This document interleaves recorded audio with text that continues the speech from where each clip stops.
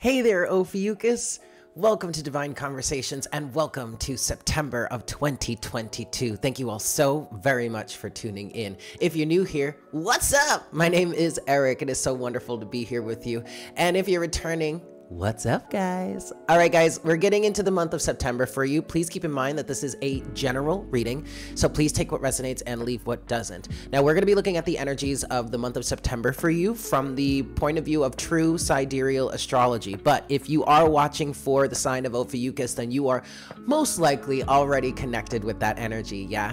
Um, if you would like a copy of your true sidereal chart, uh, please make sure to email me. My email can be found in the description box below. I will be more more than happy to send you your chart free of charge. I am also for uh, natal chart interpretations and just astrology sessions. Um, you can email me for that, and I would be happy to set up a schedule time or schedule a time for you. But then also, if you're just looking for some general tarot readings or energy readings, I'm also available for that. Check the information in the description box below and shoot me an email. And like I said, I am more than pleased as punch to get you all hooked up there. Yeah. All right, Ophiuchus, let's just get into these energies for you. So, um, I, I do want to say before I start, uh, in terms of a ruling planet, there is a lot of discussion, you know, in terms of who your ruling planet would be and all that kind of stuff. But for you, I just want to say I'm feeling drawn to place your focus in terms of Mars because your energy tends to be so closely tied with Scorpio. Scorpio has a ruling planet of Mars, also Pluto, but when we talk about personality and personal stuff, you want to talk about the personal planets, and that would be Mars. I'm really feeling driven to talk about that and use Mars as your ruling planet here, okay? Moving forward. Where I want to start for you, Ophiuchus, I want to start at the uh, the new moon that happened on August 27th. I feel like um, that happened for you. First of all, that happened in your ninth house. It was in the constellation of Leo. Leo is in your ninth house here, um, and the ninth house is all about expanded uh, expanded ways of thinking, an expanded mindset, higher learning, um, traveling, stepping out of your comfort zone, traveling to new and distant and far and exciting places, going around and having adventures. Yes. For you, the new moon happened in uh, the ninth house for you, and I really do feel like that influenced you to start learning something new.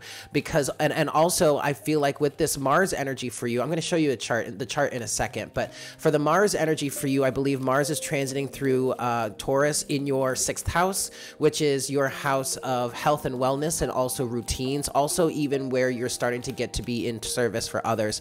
But for you, Ophiuchus, um, this feels like there is there's something going on here about um, your health and wellness and how you can revolutionize that and change that for yourself. I feel like the new moon on August 27th really gave you a clean slate um, in order to focus on this health and well-being energy. All right also could have inspired you to start learning something new maybe seeking a higher uh, course in higher learning or just starting a brand new uh, starting something new to uh, brand new to expand your horizons. Now by the time we reach the full moon which will be around september 9th late september 9th into uh, september 10th um, I feel like you're really going to be taking further steps to expand on this and or even communicate about this. Um, during this full moon, a big thing for the collective is since this full moon is going to be in uh, Aquarius, I feel like whatever was started for you or whatever you whatever clean slate you had and how that resonates for you,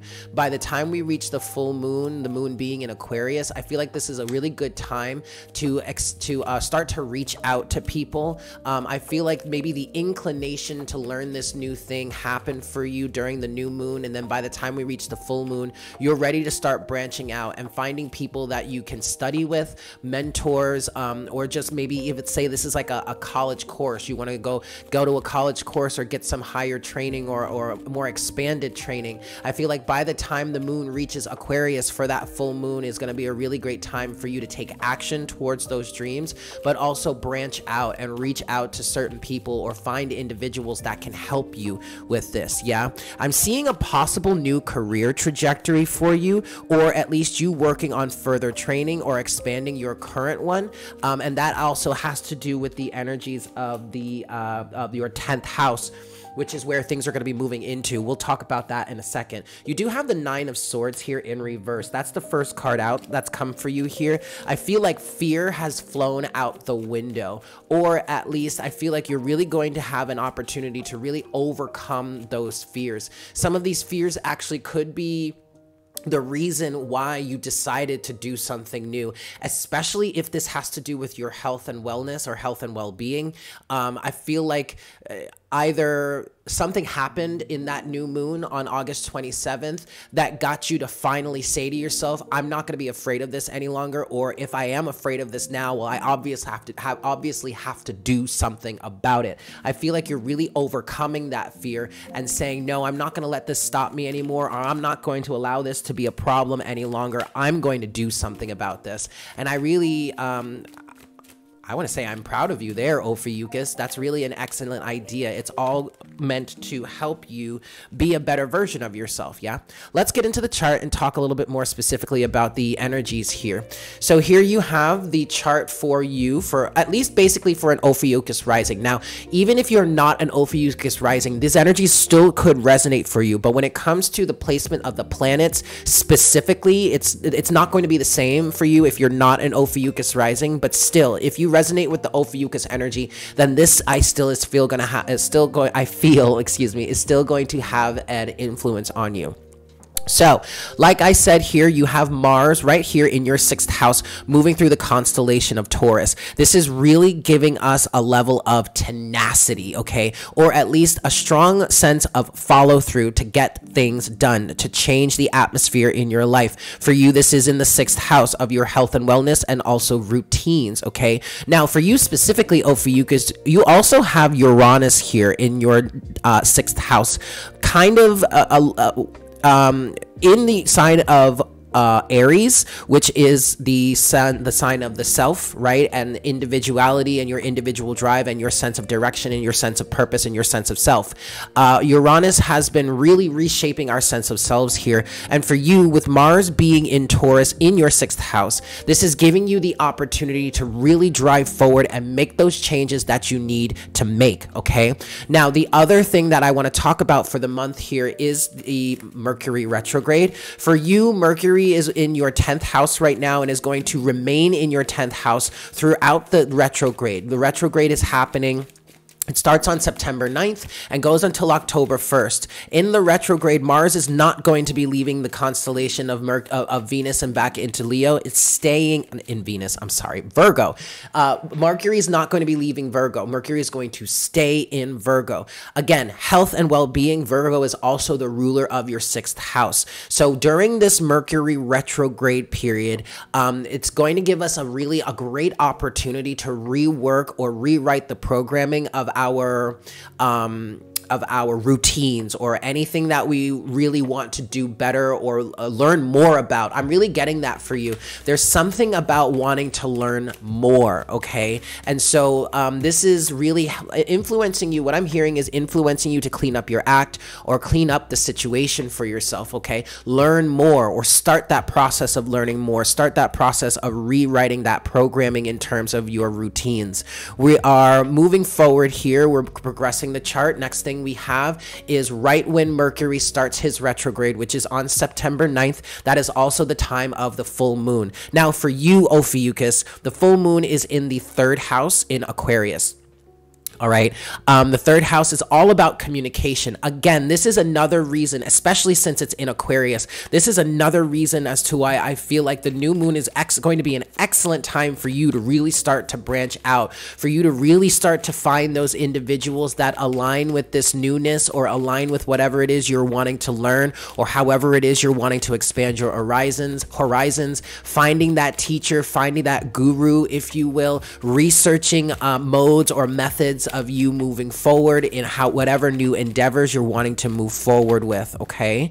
Continuing forward, we have the really the next thing that I want to talk about for us would be the new moon. Now, by the time the sun reaches that new or I'm sorry, the sun and the moon reach that conjunction for the new moon, the sun will have crossed into your 10th house. But actually, let me go back a little bit here. So, the new moon in August August 27th, right here. The new moon, like I said, was in the ninth house in Leo. This is expanding your ability or your desire to want to learn more or setting you on that path to wanting to learn more or something or, or learn something new, try a new process.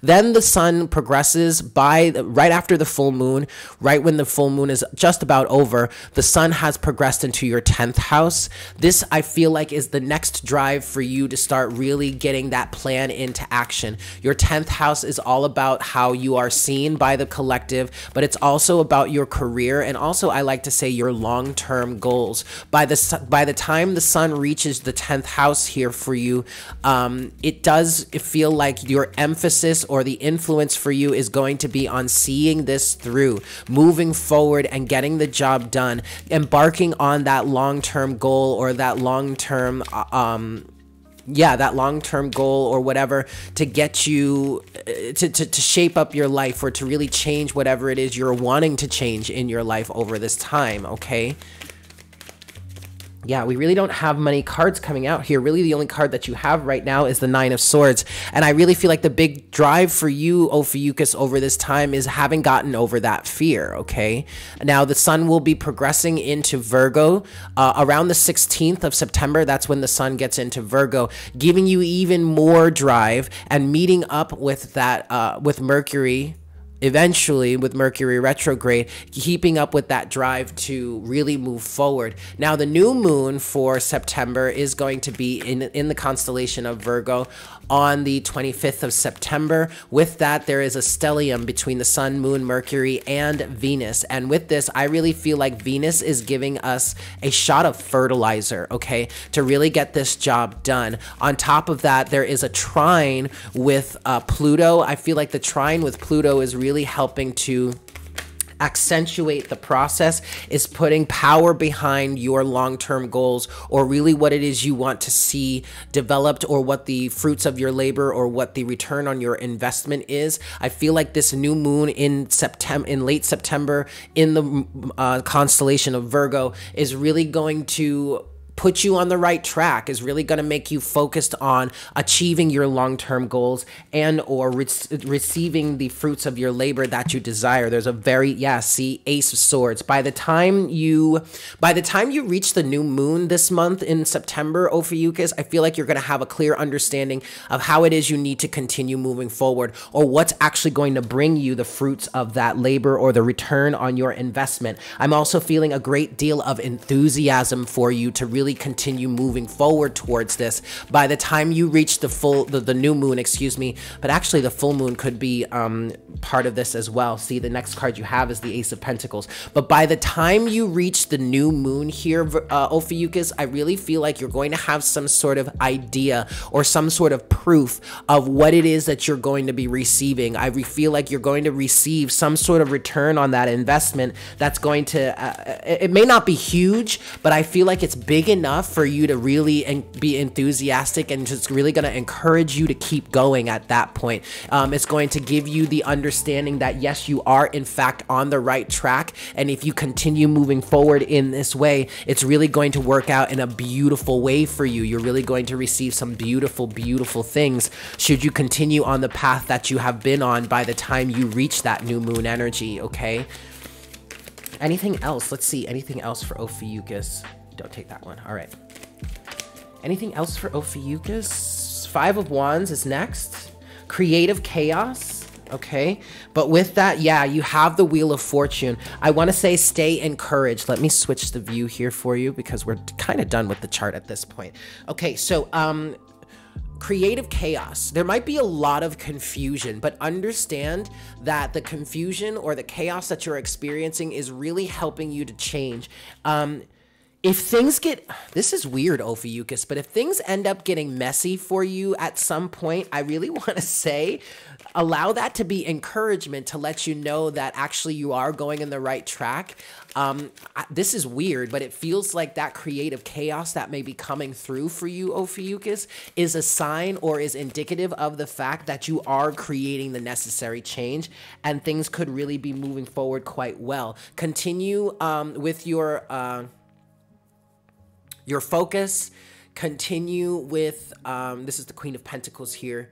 Continue with your commitment. Continue to stay in a loving and a nurturing energy, especially if that creative chaos is really confusing to you. It's not that that's not the time to actually give up, and it's not really telling you to give up. It's weird. This Ophiuchus, this I'm not gonna be. I'm not. I'm gonna be very honest with you. This feels kind of weird to say, but the creative chaos of the moment, or the the chaos, just the chaos of the moment, is actually a sign that you're doing the right thing, that you're creating the necessary change for you. There's uh, there's the Empress that came out with this as well, okay? Um, love and nurturance. But see, a lot of things may need to change, or things may need to change in some pretty big ways. And the bigger the things that are changing, or the bigger the shift that you're making, Ophiuchus, the greater the potential, the greater the outcome, okay? But with that is going to come a great deal of heavy chaos, you know what I mean? Especially, like, say, if you're changing your health and wellness regimen, or you're really working on changing those routines there.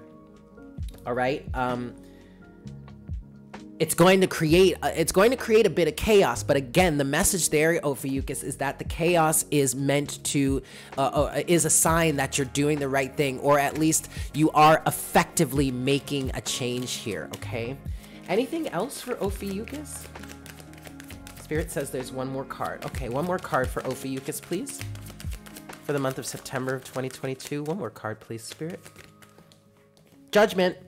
Boop. Okay. It's time. It's time to move forward. Um, the Two of Cups is at the bottom of the deck. Uh, this could also be a relationship. There could be, let's see, actually, since we did have the Empress, which is indicative of uh, Venus. Yep, Venus is in, uh, is making that conjunction. All of this, yeah, all of this is um, in your 10th house by the end of the month. Um, this big, this big uh, uh, stellium here, the sun, the moon, Mercury, and Venus.